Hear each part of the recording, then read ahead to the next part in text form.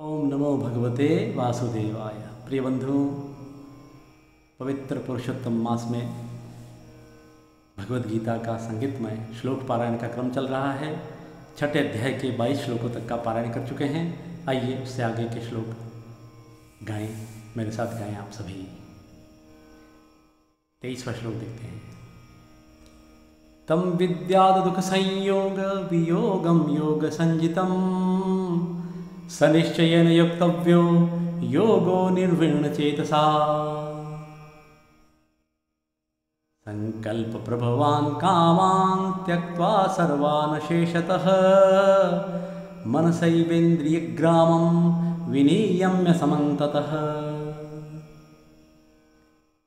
शनै शनैरुपरमेतत् बुद्ध्या धृतिगृहीतया आत्मसंस्थं मनः कृत्वा न किञ्चिदपि चिन्तयेत्। यतो यतो निश्चरति मनश्चञ्चलमस्थिरं ततस्ततो नियम्यैतत् आत्मन्येव वशं नयेत्। प्रशान्तमनसं येनं योगिनं सुखमुत्तमम् उपैति शान्तरजसं ब्रह्मभूतमकल्मषम् युञ्जन्येव सदात्मानं योगी विगतकल्मषः। सुखेन ब्रह्मसंस्पर्शम् अत्यन्तं सुखमश्नुते। सर्वभूतस्थमात्मानं सर्वभूतानि चात्मनि। इक्षते योगयुक्तात्मा सर्वत्र समदर्शनः। यो मां पश्यति सर्वत्र सर्वं च मयि पश्यति। तस्याहं न प्रणश्यामि स च मे न प्रणश्यति।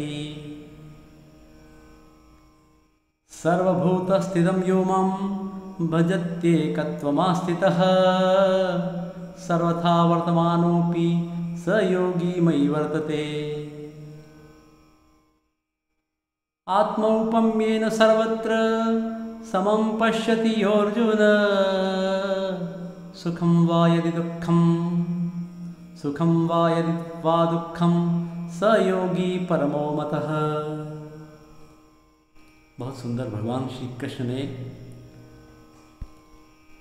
कर्मयोगी, निष्प्रह, निष्काम कर्म करता हुआ पर ब्रह्म परमात्मा में ध्यान लगाता हुआ, किस प्रकार, कैसे उस परमात्मा से जब साक्षात्कार करता है तो क्या अनुभव करता है? एक से बढ़कर एक श्लोक।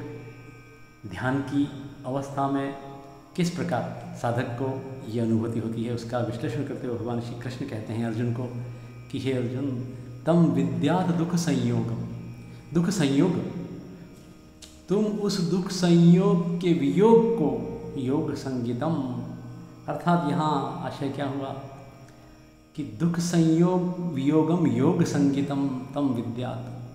हे अर्जुन, ये जो दुख संयोग है, त्रिविध दुखों का समूह है, संयोग है, उस दुखों का के संयोग का वियोग कर देने वाला है, जो उसी को योग की संज्ञा दी गई है। ऐसा जानो, दुखों को दूर कर दे, संयोग का वियोग कर दे। उसी को तो योग कहते हैं, उसको तुम योग जानो, उसको योग संज्ञा दी गई है।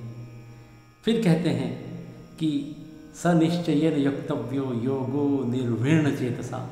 मूल शब्द है अनिर्वीर्ण चेतसा। अनिर्वीर्ण चेतसा का तात्पर्य है हर्षित चित्त से, प्रफुल्लित मन से। सह निश्चयेन सहयोग ऐसा कि वह योग ऐसा योग जो दुख संयोग को वियोग कर दे, दुख समूह को दूर कर दे, अलग कर दे। और फिर वह योग निश्चित रूप से निश्चय नीति निश्चय, निश्चित रूप से अनिर्विण चेतसा युक्तव्य, अर्थात हर्षित चित्त से, प्रफुल्लित मन से योग करने योग्य है, किए जाने योग्य है। उसका योग अवश्य करना चाहिए। ये अर्थ है। फिर कहते हैं भगवान आगे चौबीसवें श्लोक में, संकल्प प्रभवान कामान त्यक्त्वा सर्वान शेषतः। तो सर्वान अशेषतः, मूल शब्द रहेगा, सर्वान शेषत नहीं, अशेषतः।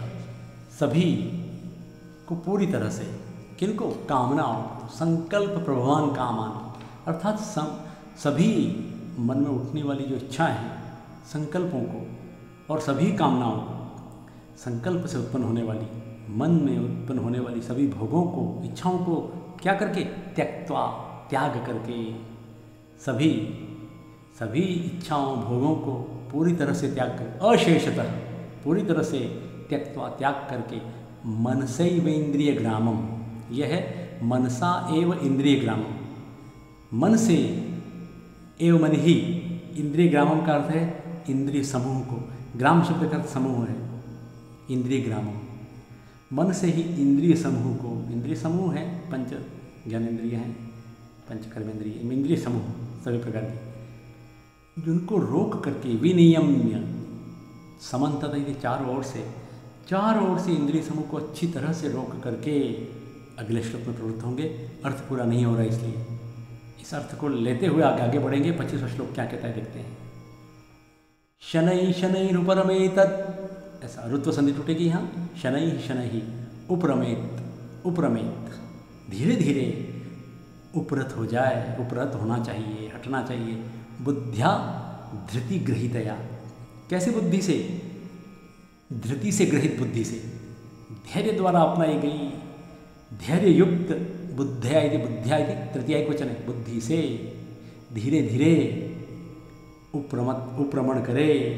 अर्थात इंद्रिय समूह को अच्छी तरह से रोक करके चारों ओर से फिर धीरे धीरे उपरम हो, उपरम से तात्पर्य है उपरमता, हट जाए। आत्मसंस्थम मन कृत्वा। न किंचिदपि चिंतित अपने आत्मा आत्मसंस्थम मन को आत्मा में करके, आत्मा सस्त करके, आत्मा में स्थित करके, मन को आत्मा में स्थित करके न किंचित किसी प्रकार का कोई चिंतन नहीं करे, साधक। भगवान ने प्रतिपादन किया है। योग की जो परम उच्च कोटि की अवस्था है ध्यान की, उसमें अर्थात योग की साधना में मन किसी प्रकार कहीं भी न जाए, उसको धीरे धीरे बड़ा आगे आने वाले श्लोकों में भी यही प्रतिपादन किया, ये अभ्यास है। ये अभ्यास करना ही तो योग है।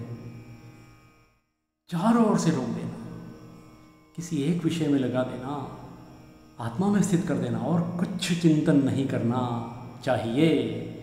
किंचित भी न चिंतित साधक को किसी प्रकार से, योगी को किसी प्रकार से कोई चिंतन नहीं करना चाहिए। छब्बीसवें श्लोक में कहते हैं, यतो यतो निश्चरती। यत यत, जैसे जैसे, जिस, यतो यत का मतलब जिस प्रकार, यत यत। क्योंकि तथा तथा आएगा, यत है इसलिए तथा आना ही है। मन चंचलम अस्थिरम ये जो मन की दो विशेषता बताइए एक तो चंचल है और एक अस्थिर है। चंचलम अस्थिरम। ये चंचल मन और ये अस्थिर मन जैसे जैसे जिस जिस कारण से क्या करता है? निश्चरती। निश्चरी का तात्पर्य है, चलता है। कहाँ चलेगा मन? विषयों में। अर्थात जाता है बाहर। ततस्तो नियम्ये तत् आत्मन्येव वशम मन का स्वभाव है, इंद्रिय के पीछे जाना। तो ये चंचल मन, अस्थिर मन जैसे जैसे जिस कारण से बाहरी विषयों की ओर भागता है,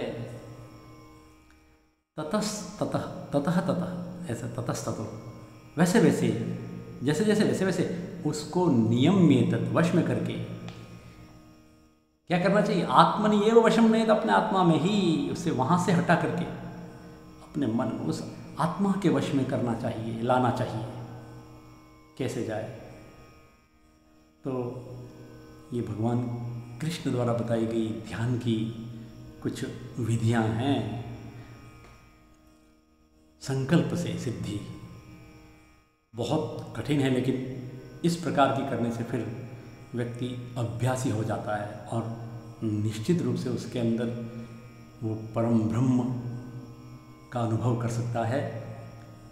कहा भी गया है कि मन चंचल और अस्थिर है और जैसे जैसे वह बाहरी विषयों में जाता है, तुरंत उसको वहाँ से हटा करके अपने आत्मा में करो। अर्जुन, आगे क्या कहते हैं, देखें। प्रशांत मनसम येनम योगिनम सुखमुत्तमम। उपैति शांतरजसम ब्रह्मभूतमकल्मषम।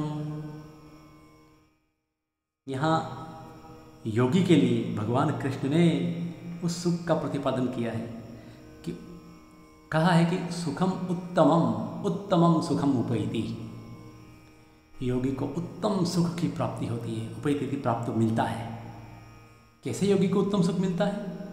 एक बीच में शब्द आया, है एनम हेनम इस योगी को ही एनम योगिनम उत्तमम सुखम उपैति। परंतु स, कम योगिनम यह प्रशांत मनसम यह शांत रजसम यह ब्रह्मभूत कलमशम योगी वर्तते तम योगिनम हे अर्जुन जो योगी प्रशांत मन वाला है प्रशांत मनसम योगिनम उत्तमम सुखम उपैति अर्जुना। पुनः जिसका मन शांत है प्रशांत है पुनः कहा गया है। दूसरी पंक्ति में शब्द देखिए आप, शांत रजसम। अर्थात जिसका रजत्व भाव रजोगुण शांत हो गया है। रजोगुण तो उफान मारता है। जिसका रजो स्वभाव है, रजोगुण से उद्भुत स्वभाव है, भ्रांति वाला, वो शांत हो गया है। ऐसा, अर्थात ब्रह्मीभूत हो गया रजोगुण नष्ट हो गया एक तरह से। नष्ट होने से ही तो स्थिर होगा। तो शांत हो गया है। ऐसे योगी को उत्तम सुख मिलता है। और फिर ब्रह्मभूतम। जिसका रजोगुण शांत हो गया और ब्रह्मभूत हो गया है। ब्रह्म में इस रजोगुण के नष्ट होने से जो ब्रह्म में स्थित हो गया है, ब्रह्मीभूत हो गया है, ऐसे अकल्मशम लिखा है कलमशम लेकिन सामान्य व्यंजन और स्वर के मिलन से क्या हो गया? ब्रह्मभूतम अकल्मशम ये संस्कृत की थोड़ी सी सामान्य जानकारियाँ जो व्याकरण नहीं जानते हैं, वे साधक ध्यान दें। ब्रह्मभूतम अकलमशम अकल्मशम मूल शब्द है यहाँ। अकल कलमश का मतलब पाप अकलमशम पाप रहित बिल्कुल निष्पाप। अतः पाप रहित स्थिति को अकलमश कहते हैं। ब्रह्मीभूत होने से पाप रहित ऐसे योगी को उत्तम सुख की मिलता है, अर्जुन। उत्तम सुख किसको मिलता है? अट्ठाईसवें श्लोक फिर कहते हैं भगवान श्री कृष्ण। इस श्लोक का आप पाठ करें मेरे साथ फिर से। युञ्जन्येवं सदात्मानं योगी विगतकल्मषः सुखेन ब्रह्म संस्पर्शम अत्यंतम सुखमश्नुते।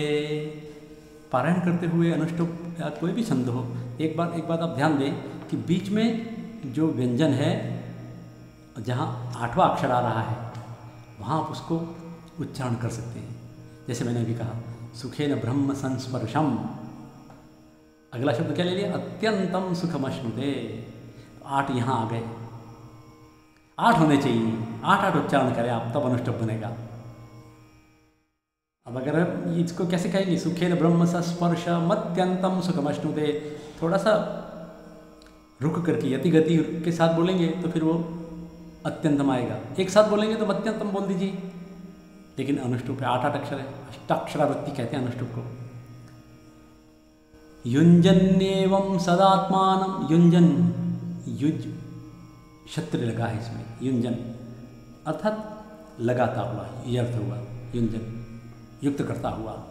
एवं इस प्रकार सदा आत्मा को विगत कलमश योगी कह योगी, कलमश यदि पाप, विगत कलमश, जिसका कलमश जा चुका है, नष्ट हो चुका है। पाप रहित जो योगी आत्मा को, मन को हमेशा अंदर लगाता हुआ, अपने अंदर आत्मा को आत्मा में लगाता हुआ, क्या करेगा? सुखेन ब्रह्म संस्पर्शम अत्यंतम सुखम अश्नुते। सुख से, आसानी से ब्रह्म संस्पर्श, अर्थात हुआ ब्रह्मानुभव को, ब्रह्म का संस्पर्श करता हुआ, ब्रह्म को अनुभव करता हुआ अत्यंतम, बहुत अधिक अपरिमित सुख प्राप्त करता है। आसानी से ब्रह्म को अनुभूत करता हुआ अत्यंत सुख प्राप्त करता है। ये अर्थ है, ये ध्यान की जो उत्कृष्ट अवस्था होती है, यहाँ साधक को ऐसे वो अंदर ब्रह्म अपने अंदर दिखता है, अनुभव दिखता है, ऐसा भगवान कृष्ण कह रहे हैं। सर्वभूतस्थमात्मान सर्वभूतानि चात्मनि इक्षते योगयुक्तात्मा सर्वत्र समदर्शन। बड़ा सुंदर श्लोक ये भी। उनतीसवा एकोन त्रिंशत इति। एकोन त्रिंशत। त्रिंशत में एक नहीं है, इसलिए एकोन त्रिंशत। उनतीस उनतीस कहते हैं उन। उनका तात्पर्य है उनमें नी प्रत्यय न्यू प्रत्यय से नी ऊन न्यून हो जाता है। और अधिक कम। न्यून, अत्यधिक कम। न्यून, ऊन।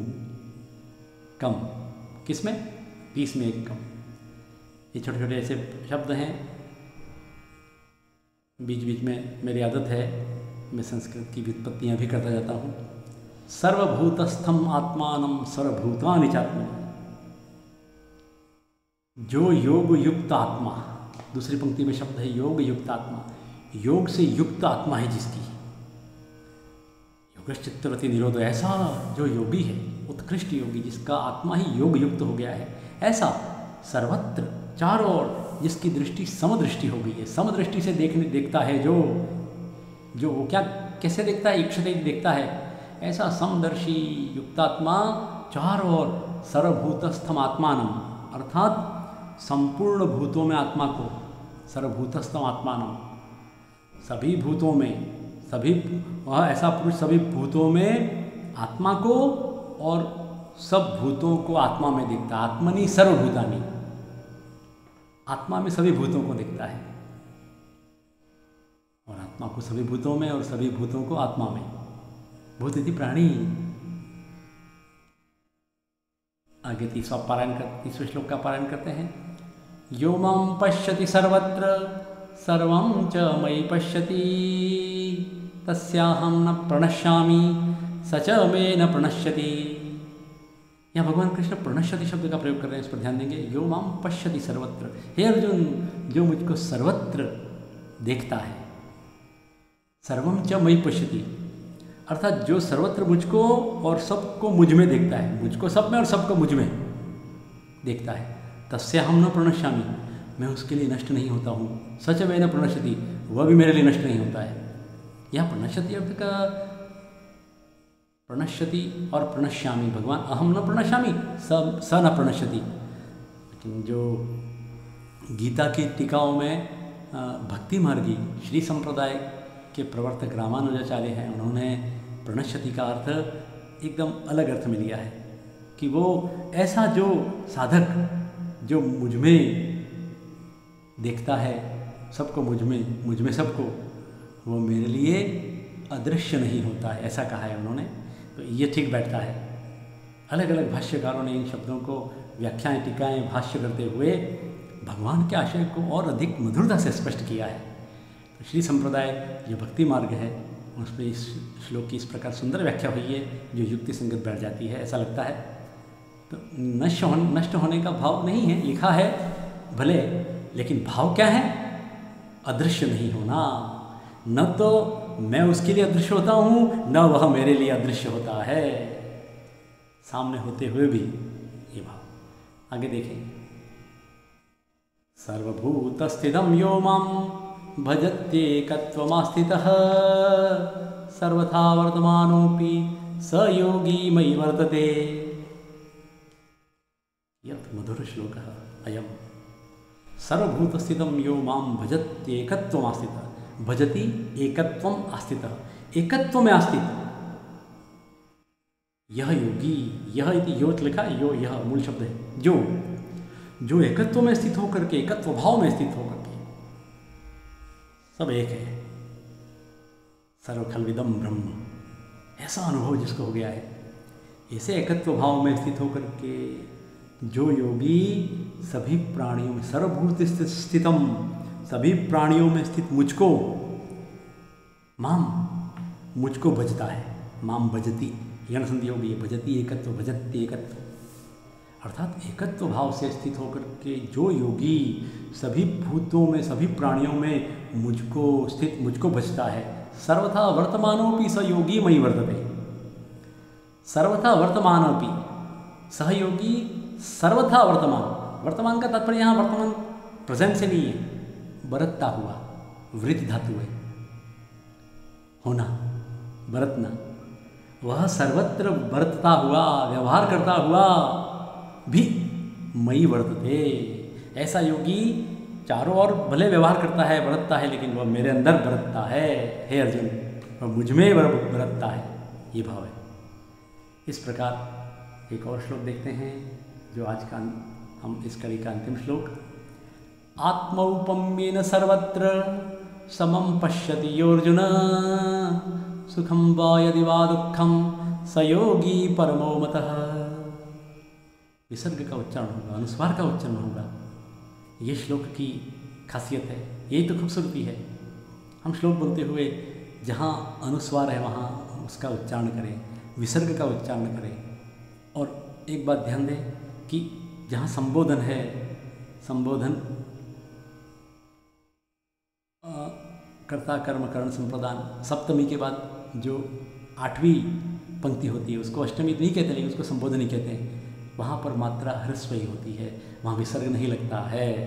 ध्यान दें, इसलिए अर्जुन, प्रथमा में तो अर्जुन हाँ आता है, लेकिन संबोधन का ये अर्जुन है, इसलिए यहाँ केवल अर्जुन लिखा है। वरना यदि ये प्रथमा में होता तो अर्जुन अर्जुन अर्जुन ये होता। तो प्रथमा की तरह लगता है कि लेकिन वह विसर्ग नहीं होगा। आत्म उपम्यन आत्मा उप उपम्यन भगवान कृष्ण अर्जुनम कथयति हे अर्जुन! अर्जुन संबोधन पहले आ जाएगा। हे अर्जुन, आत्मा उपम्यन, आत्मा की उपमा से, आत्मा की तुलना करते हुए, आत्मा की तरह सर्वत्र समम पश्यति यह जो सर्वत्र समम पश्यति, समान देखता है। किसको? सुखम व यदि वा दुखम सुख और दुख को आत्मोपम्बेन सर्वत्र समम पश्यति सुखम यदि वा दुखम वा। जो सुख और दुख को आत्मा की तरह, आत्मा की उपमा से आत्मा आत्मा से तुलना करते हुए, आत्मा के औपम में से जो सर्वत्र सुख और दुख को समान देखता है, स योगी परमो मत। वह योगी परम है। यहाँ पर माना गया है मत कहना है। सयोगी परमो मत महान श्लोक है ये। ये गीता की जो आत्मोपम्य दृष्टि है, ये भारतीय संस्कृति, भारतीय दर्शन का यही तो महान है। सर्वसहिष्णु पूरे अयम निज परोवेति गणना लघुचेत समुदार चरितानंद वसुधैव कुटुंबकम सबको एक दृष्टि से देखना। क्या ये भारतीय दर्शन की कितनी अद्भुत विशेषता है? इसको हम थोड़े से इस प्रकार समझें कि जैसे मैं किसी का पुत्र हूँ, पिता हूँ, भाई हूँ, भतीजा हूँ, चाचा हूँ, मित्र हूँ, ऐसे ही दूसरे भी तो हैं। आप जैसे सुख और दुख मेरे हैं, वैसे ही सुख दुख दूसरे के भी हैं। जो सुख दुख मुझे अनुभव होते हैं, वही सुख दुख दूसरे को भी अनुभूत होते हैं। ऐसा अनुभव करने वाला परम योगी है। इस प्रकार के भाव अगर आ जाएँ तो क्या कहना? फिर से ये धरती स्वर्ग बन जाए। तो हमारे ऋषियों ने कितना महान कार्य किया है। आज के वातावरण में श्लोक की बहुत आवश्यकता है। जब धर्म के नाम पे, जाति के नाम पे, भाषा के नाम पर इंसान एक दूसरे के खून का प्यासा हो गया है। ये आत्मोपम में दृष्टि कहाँ चली गई भाई? भगवान कृष्ण कह रहे हैं, सामान्य योग करना ये तो ठीक है तो हम शरीर संचालन को योग नहीं कह सकते हैं। योग तो यह है, जहाँ आत्मोपम्य दृष्टि से दूसरे के सुख दुख को अपनी तरह देखे, वह परम योगी है, उत्कृष्ट योगी है। तो बार बार आज की दशा हमें आज आती है। आज के इस इंसान को ये क्या हो गया? इसका पुराना प्यार कहाँ पर खो गया? तो ये गीत, स्वर्गीय प्रदीप का यह गीत, बरबस, इस प्रकार हमें याद दिला दे कि वो भाव कहाँ चला गया मनुष्य आखिर इंसान जाना कहाँ चाह रहा है? तीन तीन स्तर रखे हैं, देवत्व, मनुष्यत्व, पशुत्व। तो मनुष्यों के लिए तो लक्ष्य देवत्व ही है। नीचे पशुत्व है। अगर हमने मानवता खो दी तो हम नीचे चले जाएँगे पशुत्व को प्राप्त, लेकिन पशुता से भी नीचे जा रहा है वर्तमान वातावरण तो ऐसा लग रहा है। आज का वातावरण तो पशु क्योंकि पशु बेचारे देश काल का अतिक्रमण नहीं करते हैं, वो अपने समय के चक्कर में बंधे रहते हैं।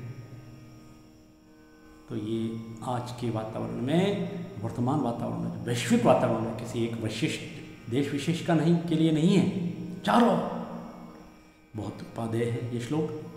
हाँ मुझे यहाँ कहना होगा कि आत्मोप में दृष्टि आई तो गीता के सर्वश्रेष्ठ भाष्यकार हैं श्रीपाद दामोदर साथ लेकर महाराष्ट्र के हुए। उन्होंने पुरुषार्थ बोधिनी टीका लिखी है गीता पर। उस पुरुषार्थ बोधिनी टीका पर इस श्लोक की व्याख्या करते हुए वाजस नहीं संहिता, यजुर्वेद की जो वाजस नहीं संहिता है, उसका चौंतीसवा सूक्त है, जिसका नाम है शिव संकल्प सूक्त।